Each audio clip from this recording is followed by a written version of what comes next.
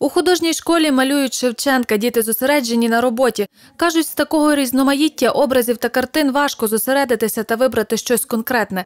Сашко, до прикладу, малює шляхи, що заросли тернами. Він не думав, що його заслали у Сибір, і він вже думав, що вже не вернеться на рідну країну. Малюють учні у різних техніках. Олег Бойчук, садочок біля хати, зобразив за допомогою графіки. українську хату і садок біля неї, що він ціле своє життя мріяв е, все ж таки мати свою, свою власну землю. Обидві роботи, розповідає Тетяна Цапурак, директор художньої школи, братимуть участь у столичному конкурсі ілюстрацій до 200-ліття з дня народження Кобзаря. Його твори їхніми очима, вони е, в їхніх малюнках вони відтворюють. Директор закладу розповідає, художня школа щороку бере участь у заходах, присвячених роковинам Тараса Шевченка.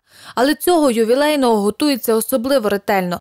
Об'єднаймося, брати мої. Це всеукраїнський конкурс, який відбувається у два тури обласний та загальноукраїнський. Частину робіт уже відправили до Івано-Франківська. Зобразила е, дівчину лілею, та як квітка, і хлопець, е, та як троянда. Сюжети з історії та побуту нашого народу, які описував Тарас Шевченко у своїх поезіях. Е, Я зобразила козака Мамая, так як він людину, і хотіла показати те, що е, наш народ він є вільний, не так як не залежить від кого.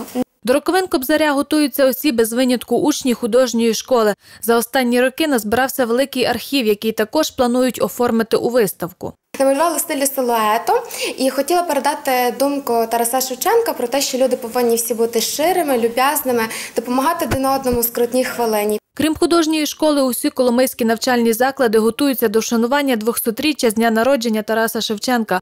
У міській раді регулярно відбуваються засідання організаційного комітету.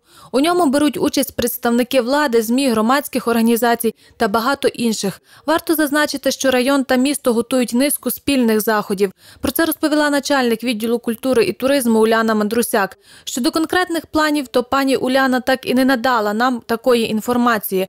Очолює організаційний комітет заступник міського голови Ігор Граділь. Другий захід. Участь бібліотек міста в обласному конкурсі Бібліотечна Шевченкіада. Крім того, багато пропозицій вносять члени оргкомітету. На базі кожного закладу та установи проводитимуть відповідні заходи. Частина із них уже відбулася.